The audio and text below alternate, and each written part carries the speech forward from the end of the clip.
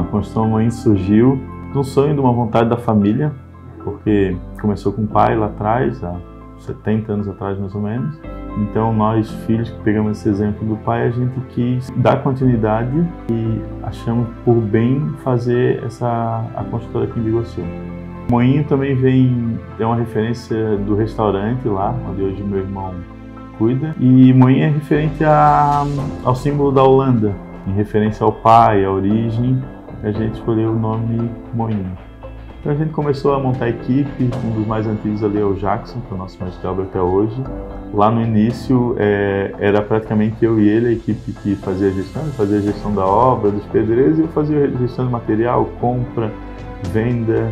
Meu escritório era dentro do carro, então faltava material, era o celular e o carro, uma prancheta e, e o computador à noite em casa. Então esse era o escritório da, da Moinho na época. E nós lembramos, e falando assim, eu como profissional, eu falo que toda oportunidade da gente é focada, eles dão a oportunidade, eles dão o treinamento, dão o ensinamento, depende da gente.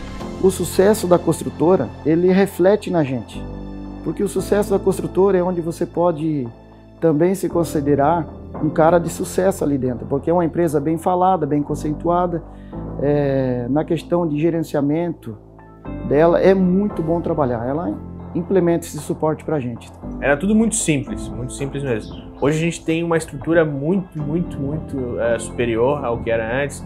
Hoje a gente consegue receber o cliente com todo conforto.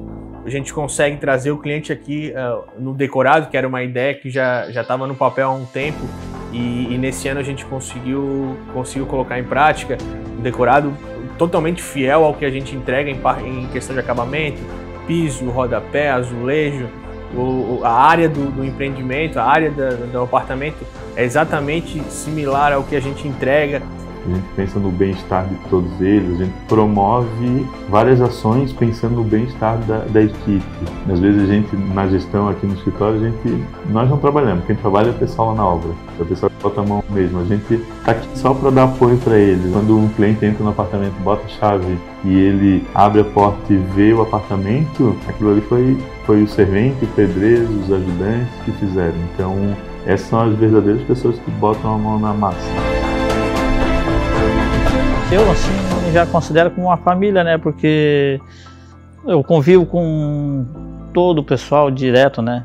Então a gente só vem para casa, né? Fica um pouquinho, dorme, no dia levanta, né? E retorna. Então, para mim é uma família importante que eu tenho lá dentro da obra, entendeu? Muito para mim significa muita coisa, né?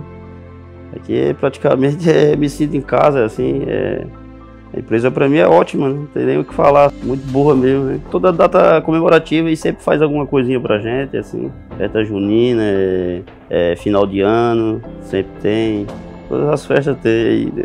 Eu desejo um feliz aniversário para a Construtora Moinho, continue como está, crescendo, investindo nos seus profissionais, porque a gente sabe que a gente tem que investir nos nossos profissionais, nos nossos colaboradores, para que esteja um crescimento absolutamente grande.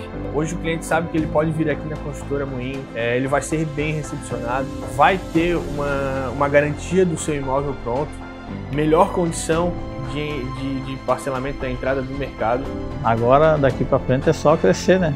E merece, né, cara? Merece porque eles dão todo o apoio pro funcionário, né? Então, eles merecem. Tá? Para mim, esses 10 anos foram tudo maravilhoso, né? E tem prazer de orgulho de estar com essa camisa, né? Hoje lá fazendo parte dessa equipe aí.